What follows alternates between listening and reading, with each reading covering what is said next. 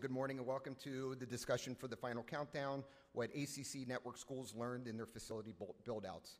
The countdown to the launch of the ACC network is rapidly nearing, and in this discussion, we'll question our panel about their preparation to ready for what should be another successful college sports network. Every school in Division 1, 2, or 3, regardless of their size and budget allowances, who is producing content for themselves or a network have success or horror stories that dealt with cooperation from their athletic departments, equipment purchases, training of crew, or a shopping list of other issues. We'll take a deep, well, take a deep breath, everybody. Everybody experiences these things, and we're going to let everybody up here tell you what they've gone through so far. So, joining me today to discuss how their schools are readying for the network uh, from uh, over here on my left, or on my right, excuse me, is uh, Kelly Hammonds, Assistant AD of Broadcast and Video Productions for the University of Pittsburgh. Eric Frey, Senior Director, ACC Network Operations, Virginia Tech. Jeremy Noe, Executive Director, TV Productions at the University of Louisville. And Mike Szlamowicz, everybody knows him as Slammer, uh, is the Director of Video Services and Live Events and ACC Network at the University of Virginia. So we're going to go ahead and we're going to start off, and I'm going to ask uh, Eric, Kelly, Jeremy, and Mike, can you please take a moment and tell us uh, about your new facilities? And we'll start with you, Eric. Sure. So um, our space, uh, we had a challenge of finding an existing or uh, a spot that was not going to displace anybody else in our department, and so we took over an existing space in our football stadium. Uh, that was how that was used for football post-game press conferences. It's about 6,000 square feet and we built uh, two uh, mirrored uh, linear ready control rooms um, through the help of AJP and CTG. Um, put Ross Acuities in each room, network dream catchers in each room, uh, two expression boxes, three channels each in each room. We also have the Chyron uh, sports effects engine uh, to utilize as well. Um, all of our TOC and engineering things live in that space as well, as well as office space. Uh, and so those two rooms were done about a month and a half ago. Uh, we did about 10 broadcasts out of those rooms uh, this spring, uh, and we'll be uh, at full go uh, by the time the fall comes when the launch happens. At Pitt, we had one control room available to us for ESPN3 and ACC Network, and we've used it about six years. And when we heard this project was coming, we had to find space as well. Uh, we at Pitt were lucky to find a multi-purpose room uh, that was being used for band practice before basketball games and uh, pre-game dinners and things like that. So we actually took that multi-purpose room, split it into three control rooms, and then built out around it with broadcast offices, uh, post-production suites, TOC, and shading. And in the lobby of the Petersen Event Center, we built a studio uh, with three different what we'd call sets. Uh, one that's an anchor set and is very like newsy and has a desk. One that's a stand-up space uh, with a green screen and white and gray backdrops that you can roll down behind it. And then also a living room set that's a more casual, casual interview space. And so then in the back of house, uh, in those three control rooms, we have dream catchers. We're using Ross Expression, um, two channel, two box, two channels per room. And um, we have Grass Valley switchers, Grass Valley cameras, and CalRec audio uh, mixers in our space. Tom, roll the video. our video basically explains what we have. Uh, it's 8,000 square foot of uh, uh, square footage of space.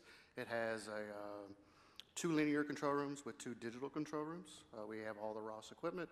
Evertz Dreamcatchers is our replay, along with the Evertz routing system. Yamaha CL5 is our audio console, and um, we're rocking and rolling. I mean, uh, we we thought we were going to be doing around 200 events out of this room this year. Where we, we after this weekend we'll be doing over 413 uh, shows. So we have already doubled what we thought we were going to do out of year one. So we're ready. Yeah, and at UVA, we were, uh, I think, one of the last, if not the last, schools to get involved with doing ESPN3. Kind of got dragged kicking and screaming into it once the network was launched. But uh, so the majority of our project occurred in fall of 2016, we used uh, AJP as our consultant and CTG here in Atlanta as our integrator. Uh, basically set up three control rooms in John Paul Jones Arena, uh, as well as a um, studio area up in the lobby where the team store used to be that has a large green screen cyc wall and a physical set, as well as some storage areas for all our equipment. Uh, we've got the same kind of basic infrastructure that, that all of the ACC schools have with Ross Expression, Ross Switchers, uh, Dreamcatcher. Um, we went Digico for our audio, uh, Evertz for the uh, routing infrastructure and the monitoring. So yeah, we've uh, we did some incremental upgrades this past year to get us uh, a little closer to where we wanted to be for the linear side of things. And uh, yeah, we're I think we ended up doing close to 300 shows this year uh, between Video Board and ACC Network. So. Mike, you had a unique, you, yeah, a unique experience with available space for your control room. Can you explain to everybody here that situation and what you did to solve the space problem? Yeah, I don't know that we solved the space problem, but um, so yeah, we uh, we're very space limited in our athletic precinct at UVA. So uh, um, and the space that we occupy when the arena, John Paul Jones Arena, was opened was uh, one control room and four staff members. We now have three control rooms and nine staff members in the same physical space. Uh, so it required us to get pretty creative with um, how we were going to lay out the rooms, how we were going to make um, certain areas uh, multi-purpose or kind of modular for different scenarios. So if you want to advance the slide, might help. So. Um, so basically, we have control room A, which is the physical space from our original control room um, when the arena opened.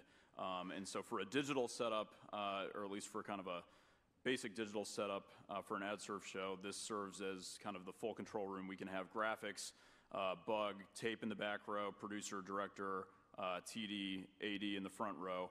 Um, but as you can see, it's pretty cozy. Uh, if you want to advance the slide, um, that was the linear basketball game we did earlier, earlier this year. So you can see the four people on the front row plus the three people in the back row. Go ahead and advance to the next one. Um, and then we have two smaller rooms that we use mainly for video board shows or for uh, pass through um, ESPN shows. But for a linear scenario, we had to think creatively about how we could get the number of bodies required for doing linear TV for ESPN into this kind of setup that we have. So um, we were able to kind of rig it up so that we can move, you know, obviously all of this stuff is on KVMs, but we can move our replay room basically, or our replay controllers into our control room B to set that up as kind of a separate replay room for a linear scenario. Um, so, you know, it didn't make sense for us with the number of sports that we have, the number of events that we have to do to just, you know, say this room, you know, we're not going to make it a control room. It's just going to be kind of a tape room or whatever it may be for a linear scenario. With the number of digital games that we do and the number of video board shows, we had to basically say this can be a control room one day, tape room the next day, and get the most out of every kind of inch of space that we have in our rooms. Um, go ahead to the next one. And then we do have a third. Um, this actually used to be an office. You can see it's kind of long and skinny. Still is an office for one person, so somebody sits at the end, that's their office, and then uh, when it's being used for uh, control room, um, they just put their headphones on. So. Um, so we could do, if we had to, you know, a, an ad serve level digital show out of this room if we re- really needed to. There is an audio console kind of uh, where the camera is put right now, but mainly this is our uh, kind of dedicated video board room for all the stuff that we do. So, um, and then we go ahead and advance it. Um, we did get a little extra space where a photocopier for media relations was sitting. We, we annexed that and put in our audio console, so we do have a separate dedicated audio room, which is crucial um, for doing linear TV and, and really for good sounding anything that you're doing. And then our engineering rack um, is 10, 10 full racks. Go and advance. Um, so we, it's there somewhere. Uh, yeah, there you go. So um, all the fiber patch infrastructure um, and uh, TOC, frame syncs, et cetera, kind of shoehorned into 10 racks in that room. So um, yeah, we, it's, it's not perfect. Uh, it is cozy, but um, for our reality, it's kind of what we had to do. Um, but hopefully down the road, as more space becomes available, we're hoping to get some more space, especially, you know, uh, anybody who um, has had to cram people into control rooms and their fine workspaces. It's, it's not ideal to have people sitting around everywhere, um, you know, trying to find places to work. So that's one of our main issues is just workspace for our staff. And we can make it clear to everybody, nobody is working out of the bathroom, correct? Not at this point, Yeah. no. Um, though if it did get us another person, we might, eh, you know, explore that option. Besides money, what's been the biggest, str- uh, your biggest obstacle to date? Eric, I'll start with you. Uh, for us, it was trying to keep our project on time. Uh, We were originally supposed to be in our uh, space the first week of January, and then uh, in the blink of an eye, we were 75 days behind. Um, Turns out, uh, our university building uh, officer who has to approve everything, that was in an interim status when we were starting this build, and so things just kind of got backlogged.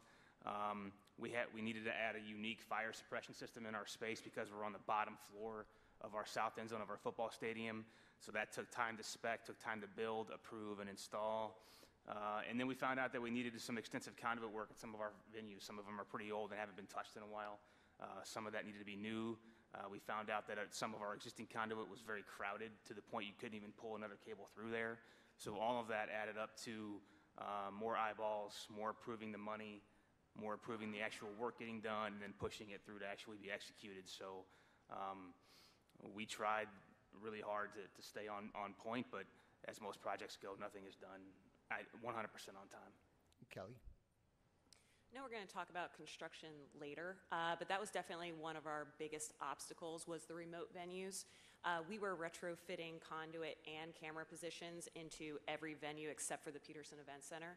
So we had a lot of work to do there, and then also just time and money goes into conduit, and we're actually still working on that. So while our control rooms are finished at this point, we are still finishing the venues. Got it. Jeremy, uh, explain for us the process of low bids and change orders during Let's your talk about construction. construction. Yeah. So we're all techies, right? We all understand the equipment we want. We understand integrators. We get that part. The part that was hardest for us was understanding one, how to get to be able to spend your own money. We had to go to Frankfort, which is our capital, and get a, a, a, a bill passed in order to expedite this project because we were going to be building, we thought, this year before the launch. We moved it up a year, so that was an ordeal, even just to get started. Uh, But the low bid process is what got us. So for integrators, uh, depending on your state rules and regulations on how purchasing works. So a big understanding is understand your, your, your situation uh, at your institution. Uh, But the biggest problem is with the integrator, we were able to do best value. With construction in the state, you have to go with low bid. So as you all know, low bid's always not the best bid. So if, after it's all said and done, low bid for construction for us, after 27 change orders, was way, almost 25% higher than the, the third highest bid uh, from the original bid. So the construction part, that you got to really, when you write those RFPs, hammer them in and uh, keep those architects and construction uh, entities uh, accountable uh, for changes, uh-ohs, oh, we forgot. You know, here's a good example. Beck TV was our integrator, zero change orders. Construction, 27. It's a pretty hefty dollar amount. Absolutely. Uh, Eric, uh, explain to us about your construction delays and how you dealt with your campus, uh, your p- campus group to get it done. So uh, it's very important uh, to have somebody on your team that, that knows your RFP and your build to a T, that can micromanage that and be married to it from start to finish. Uh, We have that at Virginia Tech, um, and so we were able to, to be on top of things that were missed or fell through the cracks, or notice that, hey, you were supposed to cut a window in this replay room and you haven't done it. Uh, You can't go any further until that's done. Um, And so just making sure that you're having that you're over communicating things and having daily meetings and daily phone calls to make sure everyone's on the same page because with projects this big, with the amount of money that's been invested, it's not a two or three, four person job. It's, it's a multi-department across different campus facets that, that have to get it done. And so um, there's a lot of things that can get muddy real quick. Uh, Both for Michael and Jeremy, you mentioned to me that you used consultants when you began your process of building your control rooms. Can you tell me the positives and negatives uh, when going out of house to plan your control room? Start with you, Jeremy. Um, I only had one opportunity to do this. I wanted to do it right. You got, we, for us, we had 8 million. I had 8 million, not 8 million and one dollars. I had 8 million. So I needed someone to blame when something was forgot. No. uh, the biggest part is, is I, I, if I had to do it again, I would use a consultant. Why? Is because he is my go-to guy. That's the guy that's going to have, if he doesn't have the answers to my questions, he's he knows the contacts, those people to get a hold of. Now, when, but the thing is, is you also got to understand that there's so much going on in this project that you got to have one person that can write the RFP to the language that's required for your situation, that can, that knows what other projects are going on, that knows the ins and out of integration. You know, that was the biggest thing is, you know, when I say we have 4.6 in integration, I, I think we probably got closer to 6 mil in equipment, but we were able to get better purchasing because of going through a consultant and grouping things together. Getting 16, 15 schools to agree on all buying the same camera equipment's not going to happen. But what you can do is get lucky and fortunate enough to, to know, they, they know, they're, they're in the environment daily, and they know what else is going on there outside of our own little campuses and our own little worlds. Yeah, I would, I would agree with that, and um, just the economies of scale you get by working with consultants as far as group purchasing power, and um, also just, uh, it helps to kind of have a baseline point to start at as far as equipment lists and things like that go. I mean, uh, as consultants have done more and more of these types of projects, there is kind of a, you know, you start, you're not starting from, from zero, you're starting from kind of a general uh, set of equipment and standards that are, you know, required for this sort of work. That being said, no one knows your situation better than you. A consultant is, you know, a consultant to me is, is a great starting place for equipment lists and for the build out. But um, many times throughout the process, you know, we had to kind of put our foot down and say, you know, no, we're not cutting this corner. We're not getting rid of this camera. We're not, not, you know, we're not, we're not putting 12 strands of fiber to this venue or whatever it may be, just, you know, not specific examples, but, you know, because we do have situations where we need this many cameras or we have, you know, we, we are going to need to do sports at the, or to cover sports at this venue. So I would say, make sure you you know what's right for your situation and for your venues and for your university, and don't deviate from that um, to, from things that you know you have to get. Kelly, you worked with the consultant at Pitt. Was it a good or bad experience, and what was the biggest lesson you learned from it? I would 100% agree with both of these guys. Um, if we were going to do it again, we would absolutely hire a consultant, especially because of the RFP process. Um, we didn't, at Pitt, we- no one had been through this type of project for the ACC network before. Our facilities management team at the university had never done something like this. Obviously, our department had never been through it. And so having a consultant who could help us to write that RFP and that initial equipment list was really important to us.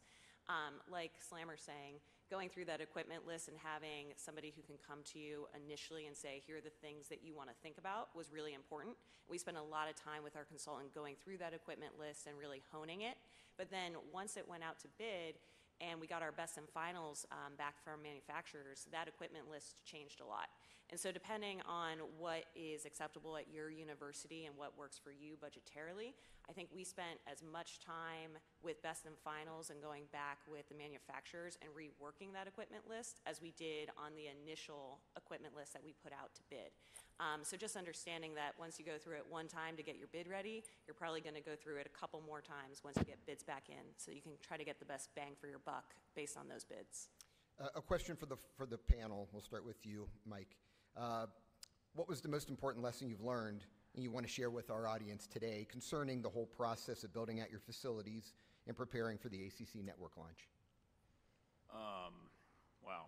Uh, so I think from our end, um, and if there's one thing I can impart to just hammer home with administrations that the equipment and the facilities are one thing, but they're only as good as the people you have to actually do the productions, keep the stuff running day in and day out. So um, it was, it's, it has to be said over and over and over again to administrations that, you know, when this sort of thing is happening, you have to staff it appropriately. And um, otherwise, you're going to burn people out. The production quality is not going to be as good as you want it to be. So just that the personal, the, uh, the, the human capital has to go hand in hand with all of the equipment and facilities that are being built. Otherwise, it's, you know, you can throw as much money at the facilities you want, but you're not going to get the results that you're looking for.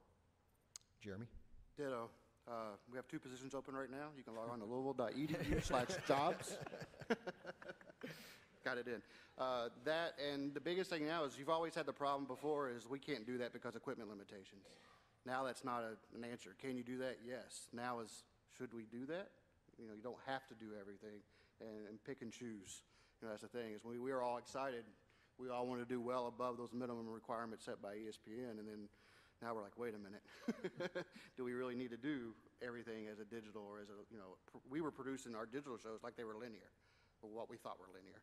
But that was the biggest thing, is now, now that you have that and equipment's not your limitation, is be very selective on that schedule, because burnout does get you. 413 events in 10 months, not one year, 10 months, that's a lot.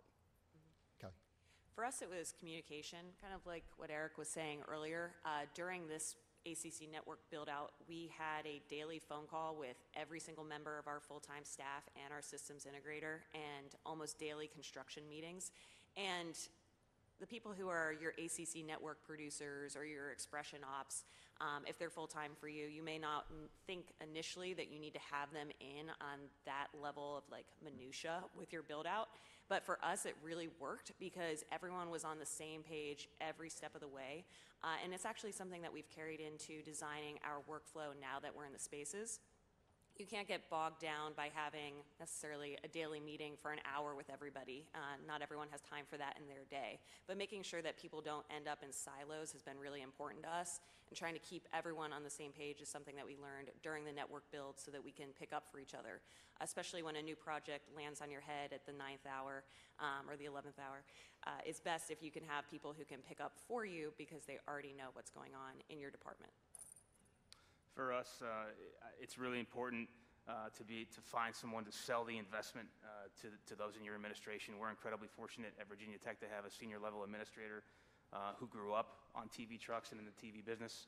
And she has been uh, our biggest advocate, um, and she helps explain uh, to the people in higher positions that make the big decisions why you need to spend $100,000 on a camera or why our switcher costs so much. Um, those kind of things that uh, that, that maybe we aren't the best at, at communicating that, but um, somebody like that that can uh, uh, get those decisions uh, made is really, really, really helpful. Question for both uh, Kelly and Eric. When people talk about control room build-outs, they think about building out your control rooms, but nobody really thinks about building out your venues um, with, you know, fiber, camera platforms, those types of things. What's the thought process that went into your decisions when preparing for your venues? Kelly, first. Uh, so for us, as I was saying earlier, we really didn't have camera positions uh, at baseball, softball, soccer, uh, volleyball, gymnastics, wrestling. So we had a lot of work to do, and also in those venues, we didn't have conduit. Uh, so leaning on our systems integrator and our consultant to make sure that we put in enough conduit, which was super expensive. And then also trying to figure out how to build camera towers in a lot of these venues, which was also super expensive, was something that we didn't necessarily see coming when we spent a lot of time early in the project thinking about what we wanted to put in the rooms themselves. Um, so something that was always in the back of our heads, but when we really sat down and started looking at the construction costs and the work that we had to do to be ready for um, the ACC network, we had a lot of work to catch up on. Um, and at the end of the day, you can have whatever type of switcher, whatever type of graphics, but if your camera positions aren't there, really what are you putting out? so we had a lot of work to do, and as I said earlier, we're still finishing. Um, we're still sending emails about what type of crane or winch we're going to put in so we can winch equipment in place. And so the positions are there, but then there's that next step of, okay, so how do I actually make these usable? And what do I have to do for fall protection, if anything? And so there's a lot of things that we're, we're still figuring out. Fortunately, you know, for us, a lot of our venues are older. They weren't necessarily designed or implemented uh, with television in mind, and so we've kind of had to go back and rework some of the things. And so um, uh, we went with permanent towers where we needed them at, at baseball, softball, uh, lacrosse, um, and soccer, um, with safety in mind, number one, for our students and our equipment. Um, making sure that they're tall enough, getting as close to ESPN specs as we possibly can, making sure that they're, they're large enough to fit more than just one camera out there so we can continue to, to push the envelope and, and do beyond the bare minimum. Um, and then it's, it's, it's adding things down the road, pulling more fiber uh, to each venue uh, than we need to um, to provide additional growth down the line um, is, is really important for us. Kind of led me into my next question, and I'll, I'll start with Slammer on this one. He talked about building for the future. What have you guys done, or what are you doing right now to build for your future? Um, so one of the big things um, that we found is uh, so with the ACC network, obviously, there's additional revenue that's coming in. Hope, you know, fingers crossed, everybody call your cable companies. Um, But there's not a sort of like one to, it's not a one-to-one thing where, you know, additional marginal revenue comes in through the TV deal, and then that filters down to, um, you know, the video operation to maintain equipment, to, you know, stay current, to uh, continue upgrading. So I think one of the big things is figuring out creative ways for, uh, in operational budgets to build in room for equipment renewal and replacement, um, because, you know, we're gonna be going into our fourth year in our rooms essentially, or I guess, yeah, fourth year with our cameras, um, you know, the year that the network launches, and as anybody who's used video equipment can tell you, like, you know, especially doing 400 shows a year, it puts a lot of wear and tear on the equipment, and um, so uh, I would say that's one of the biggest challenges for us in, as far as getting ready for what's next, because we're going to be doing more shows every single year from now into until forever, um, and just trying to figure out ways that we can budget to maintain and upgrade our stuff um, over the course of time. Jeremy? Immediate future, we need an archive system. You got 400 shows, it's a lot of hours of content. Now, And to better utilize it across all departments in our, excuse me, in our athletic departments, how can everybody now share that, that content? So we, you know, we had creative guys that would go out and shoot each specific sport. Let's say football wants our footage. Well, they're not going to have super slow-mo, HDR, 4K footage. Maybe they do, maybe they don't. But now we have that. So now it's how do we file, how do we, how do we store all those files and how are we going to share them amongst ourselves? So that's our first and next immediate step. And then the biggest thing is, is maintaining what we have. And then, you know, what we thought, you know, I I thought, you know, 10 cameras, that's more than enough. I need five more, you know. So that's the other thing is, you know, expanding what we have uh, and keeping it, keeping it running. You know, baseball goes to a lens, you know, uh, you know, that, those aren't cheap. No, not at all. Kelly? Uh, Same for us on a couple of those things. We're looking at media asset management systems now. Uh, We definitely have a storage problem, so that's next on our list, figuring out where we can store all the footage that we get from the ACC network and from our post-production team. Uh, We're also working with our business office just to keep the line of communication open about what it takes to maintain the equipment that we put in. Uh, You don't want to spend a ton of money and then just let it sit there and start degrading right away. So making sure that every year we're putting in an investment um, and making sure that we're protecting that equipment is really important to us. And then, like Eric said earlier, uh, we made sure that when we were doing our initial um, cable infrastructure and putting in fiber, that we ran extra fiber to every one of our venues, uh, so that that way, hopefully, we'd be ready in the future for whatever comes next. Eric? For us, uh, we got $10 million improved to invest in our facility, so when you see that number, uh, there's a lot of options there, but it also goes quickly. So we were strategic in, in fitting some other things into that uh, number uh, to help us across the board, our department. So number one, we took care of our network control rooms. That was phase one. Phase two is uh, we're, we are now refurbishing our two existing control rooms and finishing out our venue work. Phase three in the fall, we'll be building a new studio space with the fifth control room. So four of those five control rooms are going to be, uh, we've got two linear rooms. Those four can also be used for video board rooms. Um, If we ever got to the point where we had to do four broadcasts, not that I would advocate for that, we could do that. Um, And so, and so uh, we were able to work in our archive system to that. Uh, We, we bought enough cameras, enough intercom systems to separate big screen and network productions, uh, which helps both of those, of those areas as well. So, um, and then the, the last thing um, is we, we are pushing really hard to be able to make sure that some of that revenue that we make goes directly back into our budget for equipment costs, repairs, uh, staffing, anything that we can kind of put that towards. One one quick thing. Yeah. Stay in contact with your facilities guys. If there's ever a facility upgrade, know about it. Because that's where you're going to save a lot of your cost on putting in conduit, running extra fiber. Put conduit in, don't put fiber in it. So know what projects are going on on your campuses and, and see, think, when they, like if you have an old facility that didn't think about TV, have them think about TV. You know, a lot of these companies now, you are using other consultants to bid facilities. Some are, are thinking about TV, some don't even, it's not even a blip on their radar. You know, we did, we did our fo- football expansion, and we knew, uh, when we closed the bowl, we needed camera locations. So carving those out, we saved a lot of money on the front end without a change order on carving those wells out on the front end. Abs- I- Absolutely. I'll piggyback on that real quick as well and say that you can also kind of get creative with facility projects in sneaking some broadcast equipment into those projects. So like, we've got a new softball stadium opening and it's got a video Award, so hooray. And, uh, And these screen We're- catchers and can- Yep, so, and, and so you can kind of make the case with those additional capital projects, well, well, okay, we need additional channels of graphics, so we're sneaking another expression box, et cetera, et cetera. So I think that's a good, definitely a good, a good tip. A dirty four-letter word in television for all of us is crew. How are you handling crew? What are your plans for crew? What do you do for crew right now? Kelly, I'll start with you.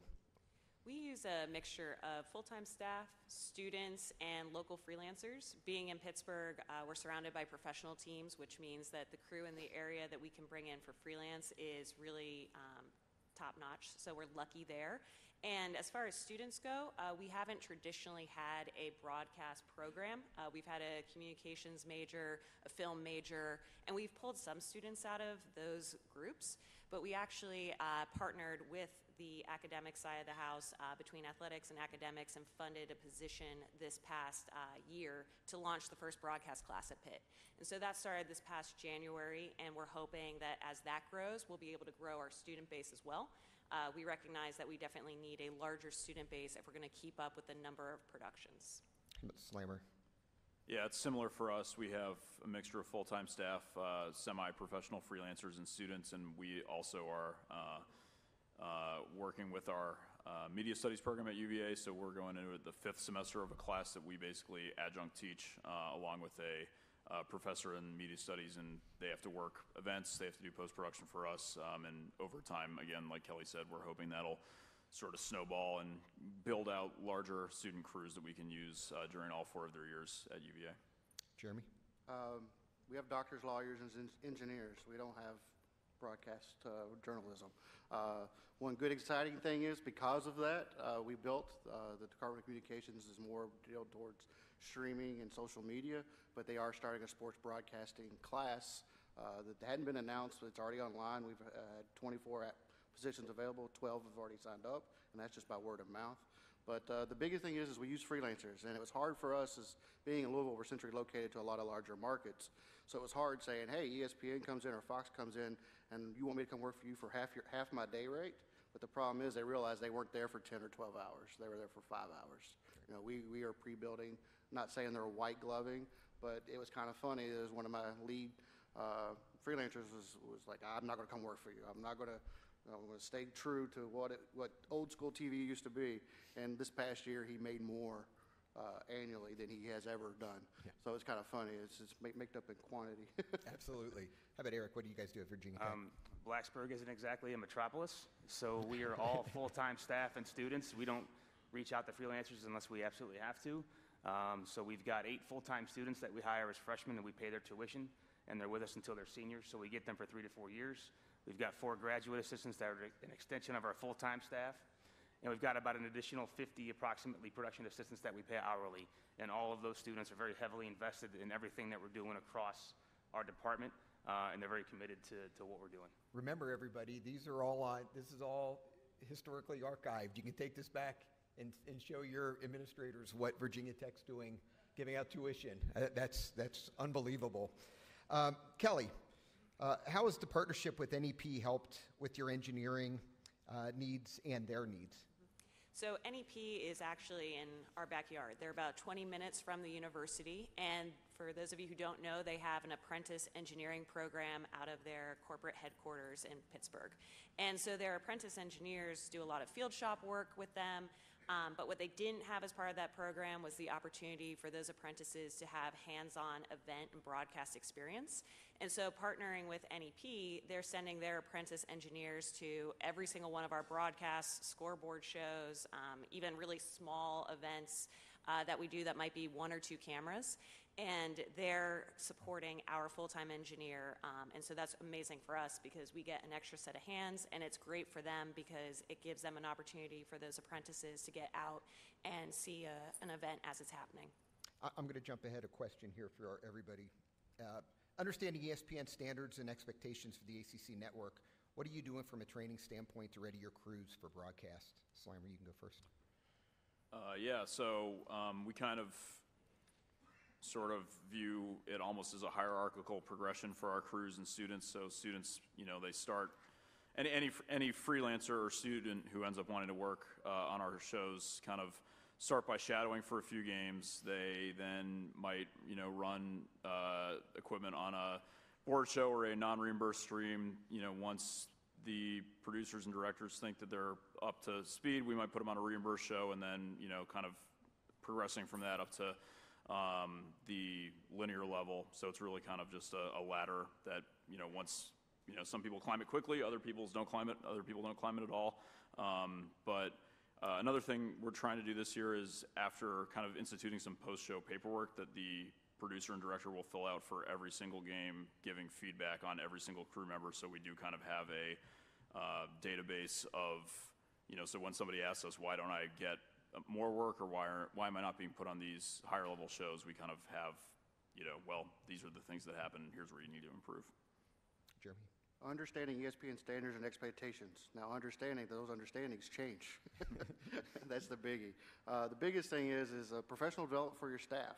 You know, everybody wants a Ross training, but I don't want the training on how to turn the box on. I want more in depth on the programming and changing and that kind of thing. So that's something that we're really looking into this next couple of years is higher next step uh, other than hey, this is the box, this is how you turn it on, this is how you launch the software. Uh, so professional development for our own staff, and then we're actually going into now and we're starting to it's funny because we're talking about schools. We're, we're grading our freelancers. You know, what is our A crew? What is our B crew? What's a C crew?